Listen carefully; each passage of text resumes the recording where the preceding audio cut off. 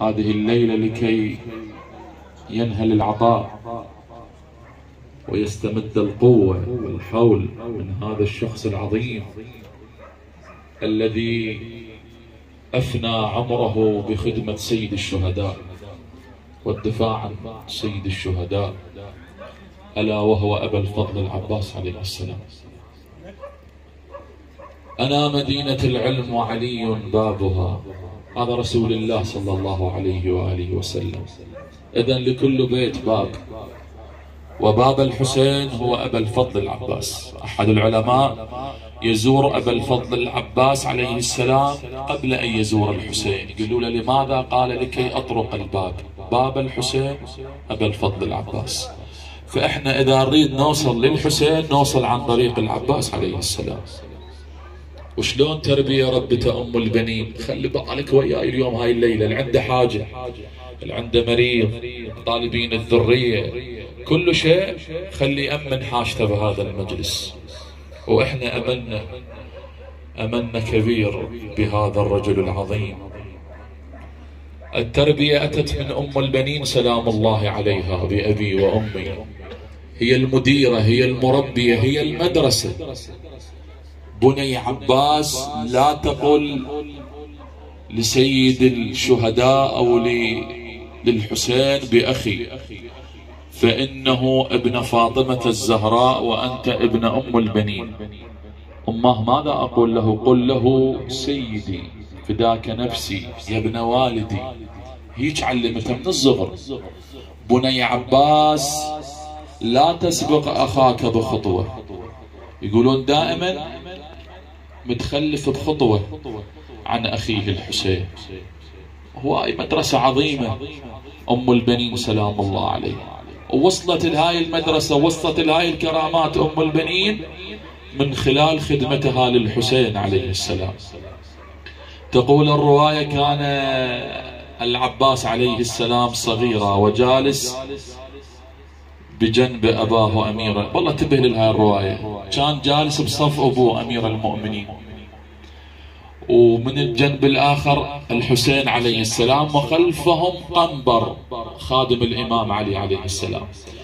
التفت الإمام الحسين إلى قنبر قال له قنبر قال فداك قنبر. يا ابن رسول الله تفضل. قال قنبر إنني عطشان. تقول الرواية أبو فاضل سمع. يقولون فركض مهرولا إلى أم البنين. قال لها يا أماه إن أخي الحسين قد طلب الماء من قنبر وأريد أن أسبق قنبر. يقولون من قد الشغف والقد الحب والقد يقول جاب الإناء مات الماء مخليه على راسه. هنا ويتبدل ما يمينا شمالا. يمينا شمالا إلى أن وصل إلى الحسين. يقول يتباوى على أمير المؤمنين. قال بني عباس الآن قد أوصلت الماء إلى أخيك الحسين ويسقط على خدك اليمين والشمال. كيف بك يوم عشر عاشوراء إذا طلبوا منك الماء؟ ولكن أتيت بالماء وليس يسقط على خديك بينما يسقط مخك على خدك الأيمن laysan هذا أبا الفضل العباس عليه السلام وعظمته. أنا مو بصدد أحكي عن كرامات العباس عليه السلام لكن هاي مقدمة للعزاء لكي تعرف صاحب هذه الليلة وكلكم أساتذة وكلكم خدام الحسين. يا شيعة يا, يا مؤمنين عندما بقي الإمام الحسين عليه السلام وحيدا غريبا في عرصات كربلاء لكن يا هل ويا ويا حزام ظهره ويا أخيه ويا أبا الفضل العباس لكن أبا الفضل العباس عليه السلام لم يحتمل لم يحتمل صراخ وبكاء البنيات والعلويات والأطفال. قال له أخي قد ضاق صدري.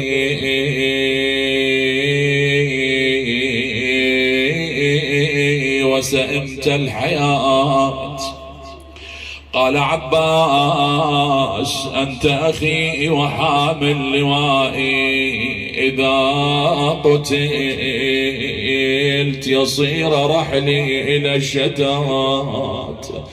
قال إذا ماذا أصنع مولاي؟ قال أطلب للأطفال والنساء الماء ذهب أبا الفضل العباس إلى القوم. حذرهم من غضب الجبار وعظم لكن لا ينفع. رجع إلى الخيمة سمع البنيات سمع سكينة تنادي العطش العطش.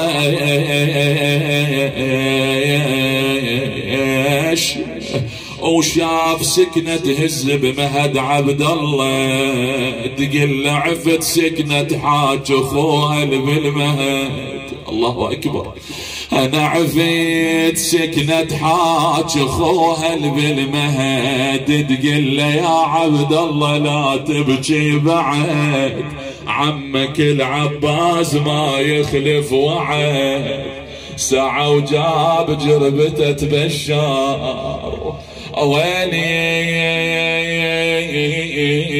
هنا دارت محاورة بين أبا الفضل العباس وزينب شو خلي بالك هناك؟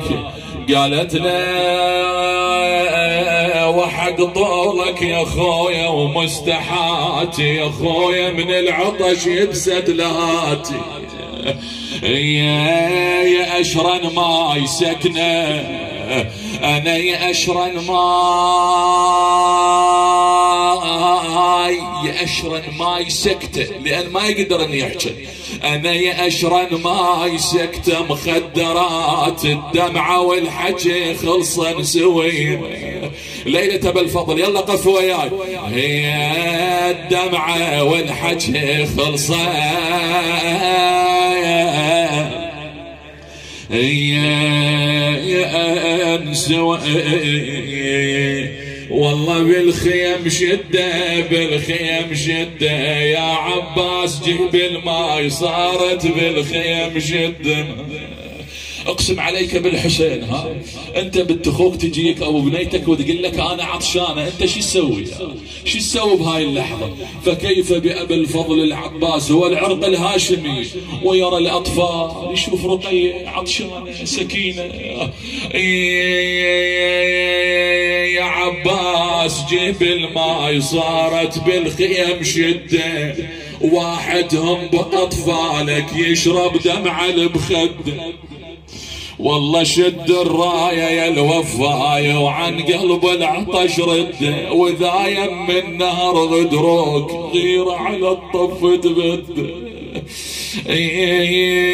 قالت له راحوا ويموتون ترى أطفالك عطش راحوا ويموتون. والله باسمك يصيحون ما يمروتك باسمك يصيحون. يعني هذا اللي ذرف له دمع على أبا الفضل العباس. مولاي مروتك دقينا بابك سيدي.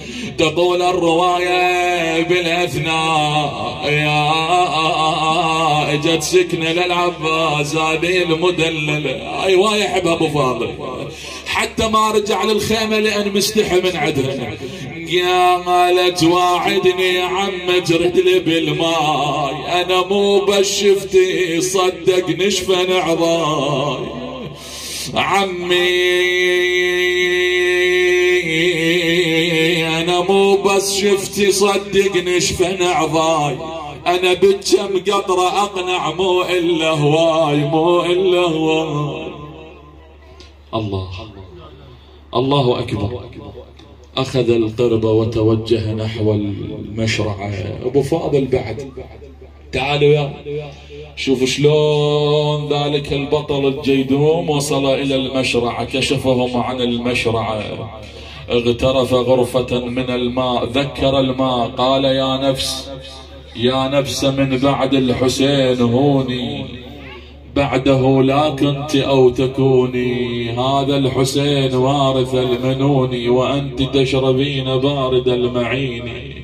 الله أكبر رمى الماء رمى الماء وملأ القرب وتوجه نحو المخيم. يا شيعة أمير المؤمنين صاح شمر اقطعوا عليه الطريق. والله إذا وصل الماء إلى الحسين لا تمتاز ميمنتكم عن ميسرتكم. زينب عليه السلام تنظر إلى وجه الحسين. الإمام الحسين ينظر إلى راية أبا الفضل العباس. قالت له أخي حسين أرى وجهك قد تغير.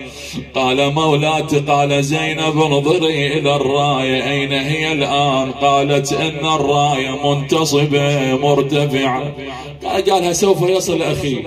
لحظات يا خدام الحسين. قال لها زينب انظري أين جهة الراية قال قالت له قد انحنت على جهة اليمين. قال لا عظم الله لك الأجر قد قطعت يمين أبا الفضل الأب. ثم نظرت زينب لحظات قال لها الإمام الحسين انظري إلى الراية نظرت. قالت له أبا عبد الله إن الراية قد انحنت على الشمال. قال لها عظم الله لك الأجر يا زينب قد قطعت شمال أبا الفضل العباس. وحقك ما قدروا يوصلوا له إلا قدر تعالوا وياي تصور الموقف. أبو فاضل كل همه أنه يوصل الجربه إذا انقطعت ايده اليمنى والشمال وين ضم القربه تقول الرواية؟ جعل القربه بين أسنانه. هذا كل هم أن يوصل الماء إلى سكينة. التموا علي الأعداء. لحد الآن أكو أمل يا خدام الحسين. أن يصل القرب إلى الحل الحسين إلى مخيم الحسين. لحظات وإذا بالسهام كالمطار أصاب سهم عينه أصاب سهم صدره أصاب سهم القرب فأريق مائها هنا الدور صيح رحم الله من نادى وعباسا وأنا صوتك وهذا الليل السابع مو قبول. رحم الله من نادى ايوا عباسا رحم الله من نادى ومظلوما فأتاه ذلك بالعماد الحديد فضربه على رأسه. راح أبو فاضل. نال كلمة ما قايلها بحياته. صاح أدركني عليك من السلام أخي عبد الله. بحياته ما قايل أخوي زينب تنبض زينب تتباوع على الحسين تجي تقول له تقول له حسين شو الراية؟ ما شفتها يقول تركها وذهب إلى المجرعه يقولون هناك وقف يم العباس لا يمنى لا شمال يقول له خوان خوان أنا وعباس كنا شلون؟ الله لا يفجعك بخير. ولا يفجعك وتوقف على جثة ابن أمك. الأخو عزيز. فكيف إذا كان الاخو مثل أبو فاضل؟ يقول حميد بن مسلم شفته دنق على الأرض شال شيء قبله وأرجع. ثم انحنى أبو علي شال شيء قبله وأرجع. دققت وإذا بهن كفينا بالفضل العباس. قعد هناك يم خيه أبو فاضل ما يشوف. عين نبت بيها السهم. وعين جمد بيها الدم ظن أن شخص من الأعداء جاء لكي يحتز رأسه. قال له يا هذا أقسم عليك بمن تعبد إلا ما أمهلتني فواق ناقة. يعني دقائق. قال له ما تصنع بها؟ قال حتى يأتي إلي أخي وابن والدي ودعني وأشمها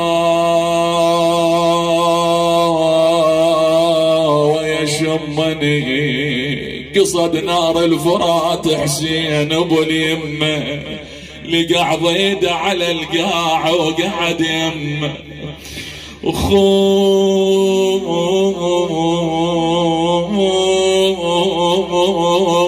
يا يخضب شيبته قام بنزف دم. انكسر ظهره انكسر ظهره يقل له ما بعد ظن. الحسين سوى شيء ما مسوي بواحد أبد ولا مسوي واحد بالعالم. خلى إيده هنا على خاصرته وصاح الآن انكسر ظهري. وقلت حيلتي وشمت بي عدوي عباس وضيعت الأبد. يقولون يشيل راسه خيه يخليه بحضنه العباس يشيل راسه يخليه بالأرض. يشيل راس العباس يخليه يشيل راس العباس يخليه بحجرة العباس يشيل راسه يخليه بالأرض ثلاث مرات. قال له ابن والدي لماذا أراك تصنع هذه الصنيعة؟ قال له أخي حسين أنت الآن تخلي راسك بحجرك بعد ساعة عيالي خلي راسك بحجرك عين على خير. يقول له يا عباس العضيد بعازة عضيده يصير حزامه بالشدة ويصير ايده يا خويا شلون شلون تعوف خيك يا الاخو حيده بعد ظهر برحيلك بيش حزما خويا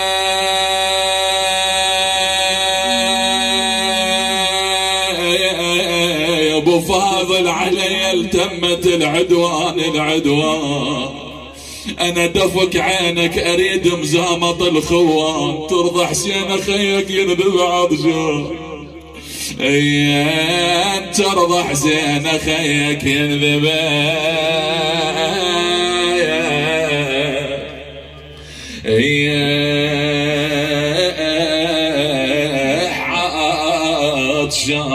قال أخي دعني أحملك إلى المخيم.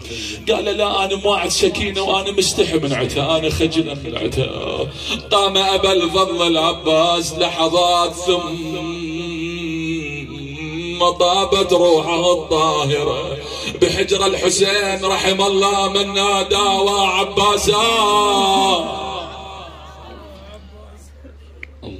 تدري ليش من الساعة صحنا وعباسا لأن القربة بعد ما وصلت السكينة وهسه راحت روحه يقول رد من النهر والقامة محنية يبكي والسما تحن البواجي. يقول له يا عباس يا خويا قطعت بي ما تنسد يا خويا فيتك علي أجل زينب وجمع كل علاوي وقالهن نصبا العباس تعزيه وقالهن نصبا العباس. يا تعزيه سحب عمود الخيمة سقطت الخيمة على الأرض. يعني يا زينب راح عمود الخيمة. راح خينا الشايلنا. أرادت أن تخرج زينب إلى جهة المعركة قالت أخي وصية العباس لا تصلي لا تصلي قالت ما كان ما كان ما كان ما كان. يفارقني الحنين بساعة ما كان. أخويا خال الأولاد خال الأولاد به الظهر ينشد خال الأولاد. أنا ينراد ينراد ينراد حيل الفرقتك عباس ينراد إي والله حيل الفرقتك عباس.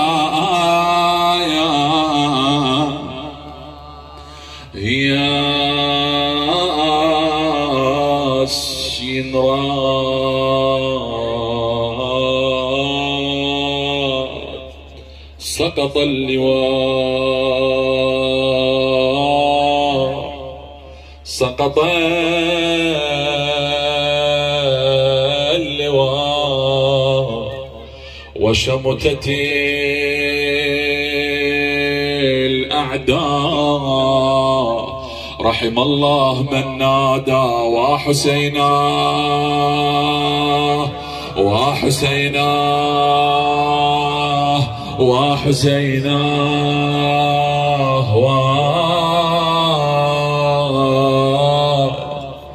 وحسينا.